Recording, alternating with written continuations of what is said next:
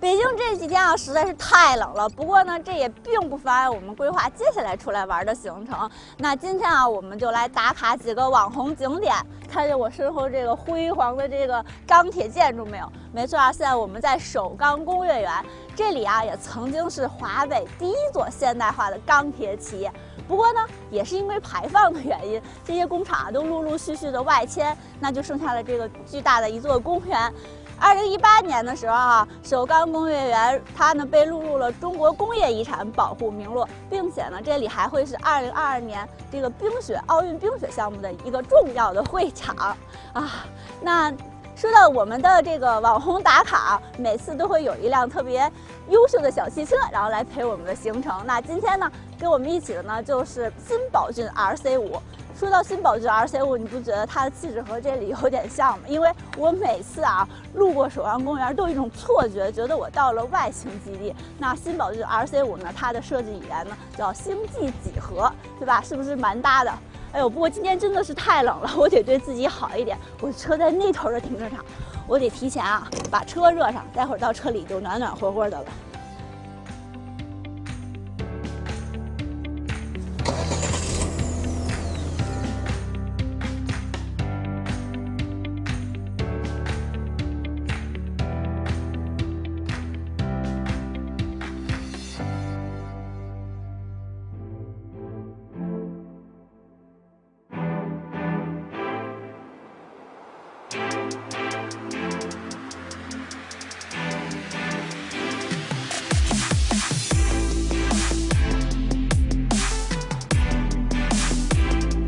宝骏 RC 五啊，它是一个紧凑型掀背车，它的轴距呢是二七零零，特别适合呢在都市里边驾驶使用。刚才我们也提到过了啊，它用的是星际几何设计语言。那其实从外边你这么一看啊，就非常非常的有辨识度。首先是它的前脸，它采用了这个新的 logo，它的新的 logo 呢安装在星辉式矩阵格栅上面，特别的显眼。还很有未来感，而且啊，它的格栅呢不是说简简单单的一大片儿啊，它采用了不同的材质啊，不同的这种分层，让你从视觉感受上看起来就很有层次感，很有科技感也。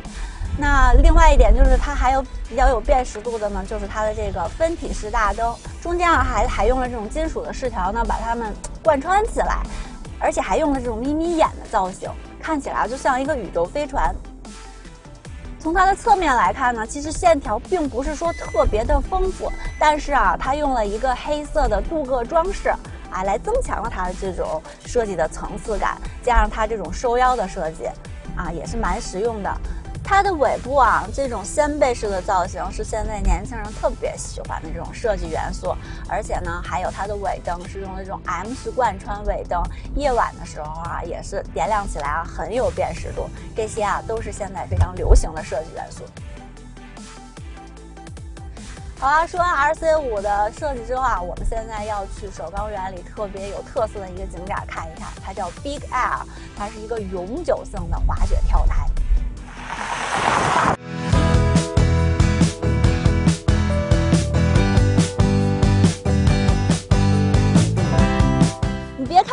冰天雪地的，湖面上都结冰了。那过几天春暖花开的时候，这里是非常适合来打卡的。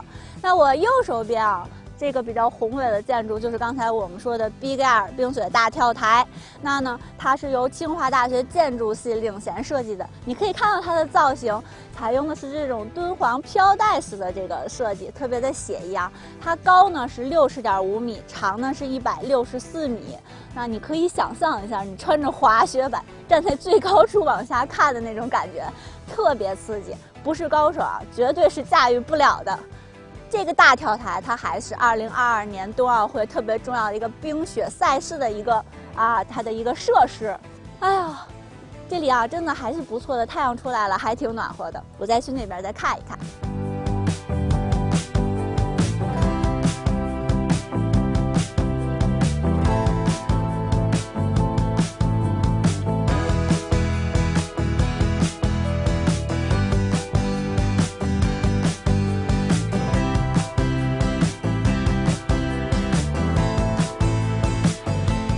哎现在我们车就在首钢大桥上开了啊！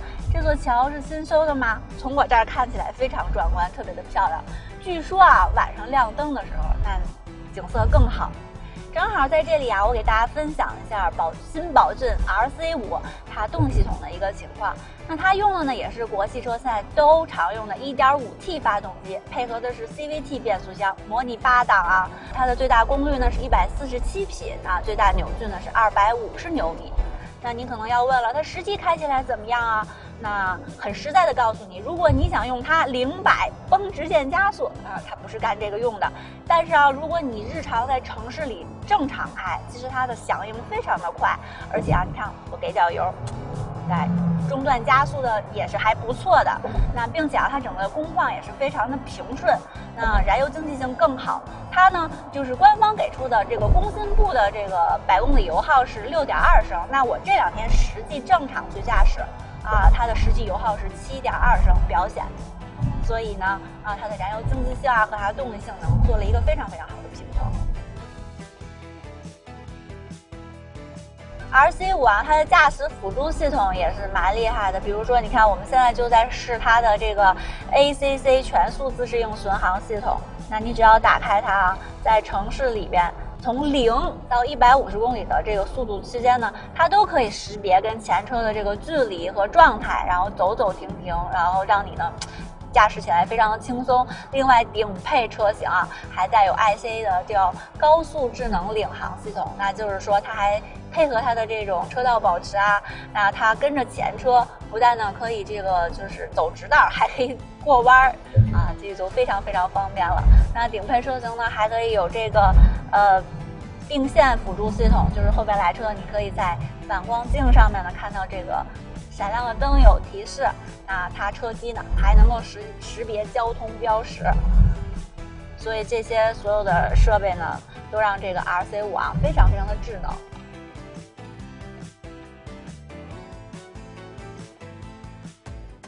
接下来啊，我给大家分享一下这个新宝骏 RC 五它内饰的一个情况。其实你坐在车里边啊，整体就感觉它很年轻化，然后很简约，并且很有现代感。而且你可以看到它仪表盘是采用了这种环抱式设计，就是到了中控这一块呢，是微微偏向这个驾驶员的。因为其实大部分的时时间，可能我们是一个人或者顶多是两个人来开车。它的这个仪表盘啊设计非常简单，就是一些常用的信息排列在这里，没有什么花里胡哨的东西。但是呢，你需要的信息是一目了然的。其实我还挺喜欢这设计的。然后是它的中控屏，这个中控呢是十点二五英寸的。大部分车的功能控制功能其实都是在中控屏里。它下面啊有几个常用的按键是预留出来，比如说你调空调，是吧？然后还有这个车机开启关闭的这些按键，就怕你找不着的时候着急嘛。其实这些还是预留了。再往下，它用了一些这种就是按键式的按钮，那主要就是。开开启关闭车门，然后还有这个双闪的这个按钮，这个都是因为会紧急常用，都在手边上，这个设计还蛮合理。再往下看到是它这个很像这种飞行器的啊，这个换挡把，这感觉蛮好，而且这个换挡把设计特别精致，上面有皮，然后还有这种类似于钢琴漆，然后但是这个钢琴上面有这种菱形纹路的设计，很讲究。说到这个菱形的纹路啊，你可以看到新宝骏 RC 五。它的这个车里边有很多小细节的设计，在用这种菱形遥相呼应。那比如说这个挡把，然后还有这个这个呃置物置物的这个空间，这个侧面呢。这一个面板也是菱形的，然后包括这里放手机的这个储物格也是有菱形的纹路，然后甚至你可以看到这个空调出风口上面也是采用这种菱形的设计，所以啊，其实还是很注重细节的。另外就是你看它车门有一大半的部分呢是用这种软皮包裹的，那你手放在这里呢，其实还蛮舒服的。这个皮子的纹路是上面有这种小圆孔的，其实呢它和方向盘上面这种小圆孔的纹路呢又是遥相呼应的。所以啊，这个整体来说，就是刚才我给大家讲的，其实既简单又有现代化，但是呢又讲究细节，做到了还比较精致，还不错啊。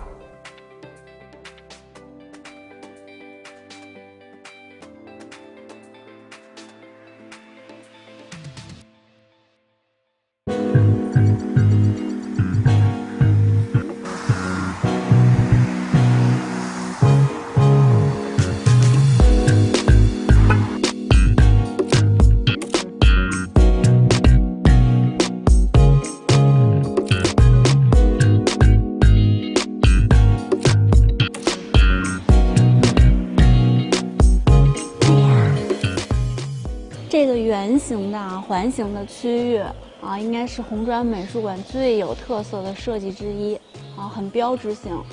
其实它的这种设计特别像古，就是古代古罗马的这种斗兽场。啊，然后表演的人在中间，那所有的观众呢都围绕着他坐在两周。其实我觉得这种设计啊，其实它有一种既自我又残酷的那种感觉。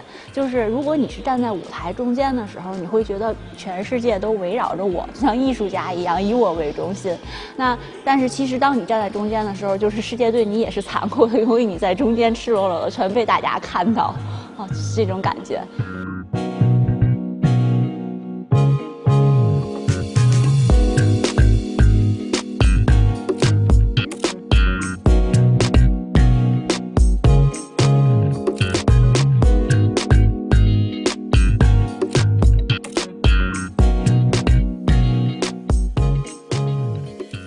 那今天呢不是休息日，又天比较冷，所以整个就是包场啊，特别难得。哎，那红砖美术馆其实如果你从外部看，你会误以为它也是一个工厂，因为它规模比较大，然后又全部是用单一的纯色的砖来搭。但是啊，你走到里边，你就会发现，其实它完全完全就是一个为艺术而生的园区。它里边讲究啊空间的变换，讲究光影的变换，然后讲究形状和线条的搭配。那其实这些与大工业生产思路是不一样的。大工业生生场是一定是让你站在一个地方，你可以四通八达看到各个你想去的地方。那而艺术园区呢，其实它讲究神秘感，讲究变幻莫测，讲究让你在里边呢，其实是要慢下来，慢慢的去找，慢慢的去思考。那这样呢，你才能够这个在曲径通幽的这种设计环境当中呢，迸发出新的灵感，是不是很有意思？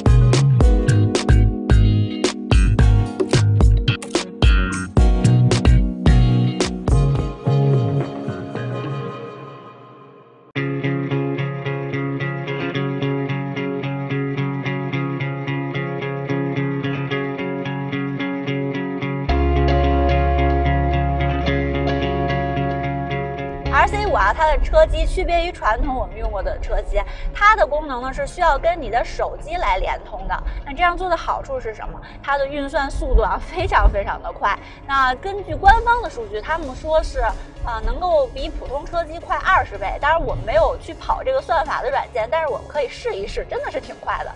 导航到七九八，第一个七九八，开始导航。回到首页，路线一路畅通。我要听周杰伦的歌。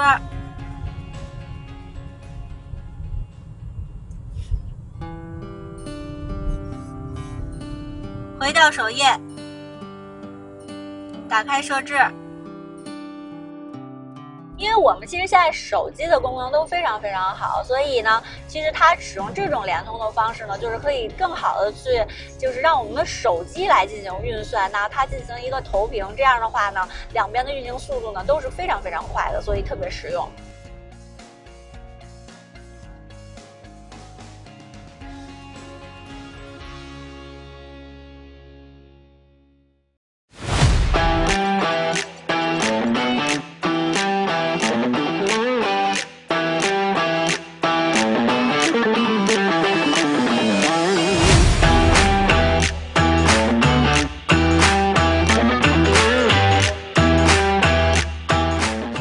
酒吧其实好多京城的文艺青年对这里已经是非常熟悉了。那它和我们刚才去过的首钢工业园、红砖美术馆气质上是完全不一样的。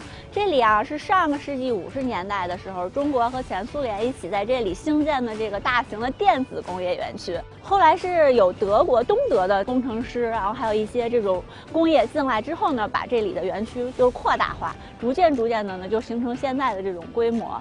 所以啊，其实这里边其实是挺有德味儿的一个艺术空间。那特别是在两千年之后，这边的工厂慢慢外迁的时候，也是最早的是德国的艺术家、一些这个设计师什么的，他们入驻到这里，然后开始在这里让这种艺术气质在整个空这个园区里面辐射，变成了现在这个样子。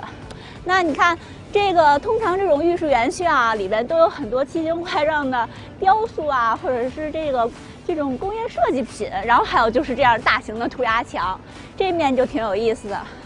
你看有小人儿，然后呢，它这种风扇啊，也是融入到它这个涂鸦墙里边，和整个的这个涂鸦呢相得益彰。这边啊，七九八这几年我们也是经常会过来，然后你就会觉得，哎，它的展览经常会换，然后它的店铺也经常会换，所以它总是在改变，总是在改变，啊，就是它的这种变化呢，其实也是蛮有意思的一件事。儿